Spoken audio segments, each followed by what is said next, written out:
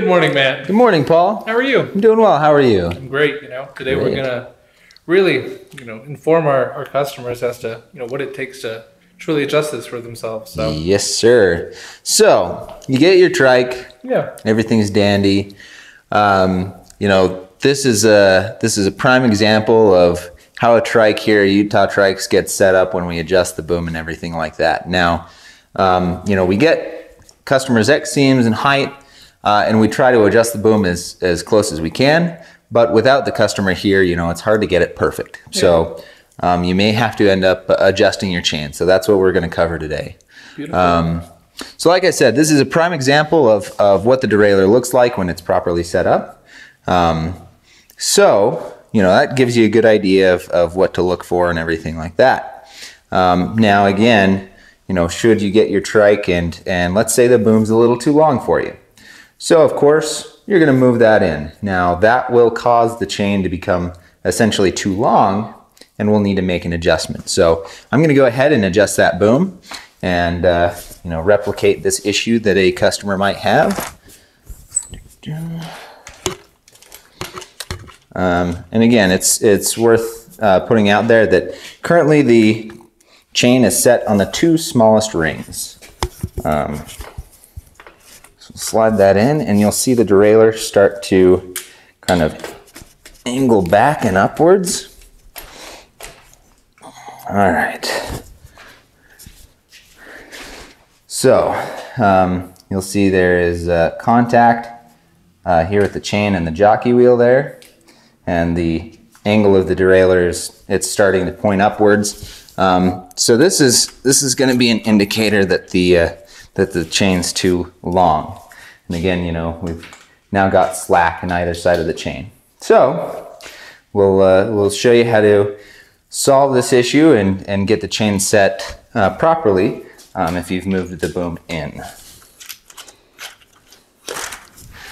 So with the um, with pretty much all of the trikes, you know, with the exception of, of very few models, uh, they're always going to have a master link here, and you can tell that because it's got the slot. Um, what that allows you to do is disconnect the chain at these two ends very easily. So uh, again, 8 and 9 speed you can usually do by hand. 10 speed is very stiff, so I'm going to go ahead and use my Park Tool MLP1 Master Link pliers.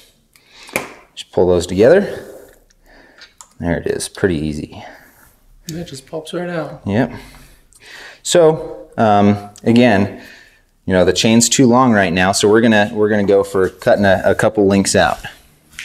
Um, now I've got a Park CT3 um, chain tool. And this is the the big one that we use here at the shop, but there are all sorts of different um, chain cutters, and you know there, there's a lot that work well. So what you want to do is is again just kind of replicate what we saw before. You know that that clearance between the derailleur and uh, and the chain. So measure that up here with the the two ends of the chain, and just go like that. Now on this one, it doesn't look like we need to cut out much, but uh, essentially what I'm doing is matching up two ends to see where where I need to cut the chain. So it looks like this link right here will do it. So I'll get my chain tool here, rest it in there and press the pin out.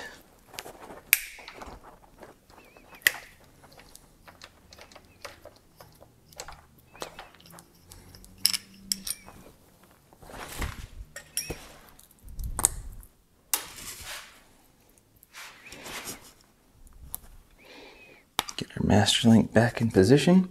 Now these master links are reusable, um, so you can disconnect them, reconnect them pretty much as, mu- uh, as many times as you want.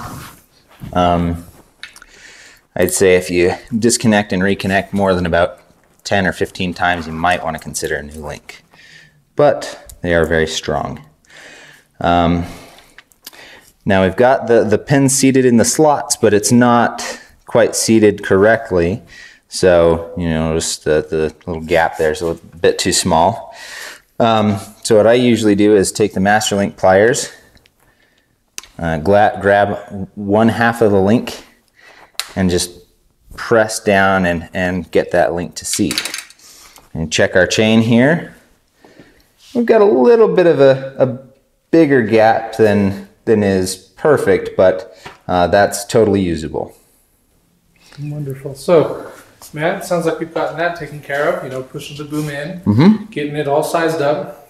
What if it arrives to me and it's just a little too small and I need to push the boom out? Okay. Is it any Yeah. different? Uh, it's a little different. Um, so this one we just used that existing master link that was in the chain. Um, let's go ahead and move the boom out. And, and before we do that, we'll shift it into two large rings. Um, this Pretty important. Yeah, so basically it's going to tell you, you know, where the chain is is too short. Um, get it adjusted here.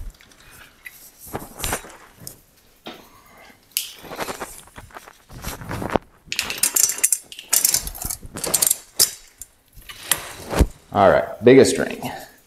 There we go. Ooh.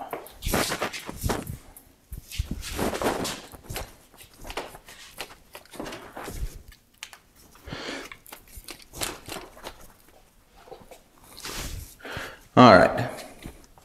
So that's as far as we can go. You know, there's a little a little slack in the derailleur still, um, but basically we're we're about maxed out on that there. So we'll get back into our small rings since we need a little bit more. Uh, we just need a little bit more length there. So get it set to the position we'd like. All right. So now we know for a fact that our boom is going to be, or our chain is too short for the distance that our boom is set at. Yeah. So we're going to go back to the master link here, get our master link pliers, go ahead and disconnect that. Uh, so the difference here, obviously, is that we're going to be um, putting more chain into the system. And uh, we're going to be using a second master link as well. So, to start off with, we'll take our additional chain that we're going to be splicing in here. And I've got way more than we need, but uh, we can work with it. All right.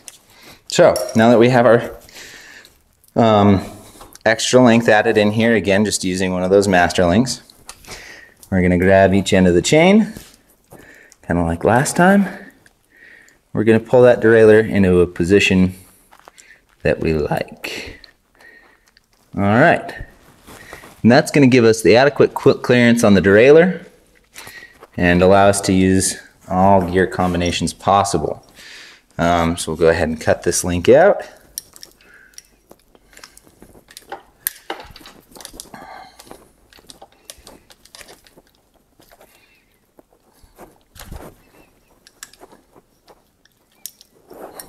Mm-hmm. That. Grab our additional master link here.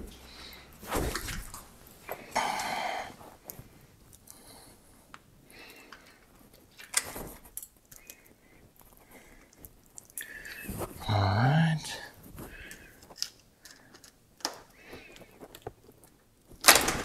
Oops. Wrong link.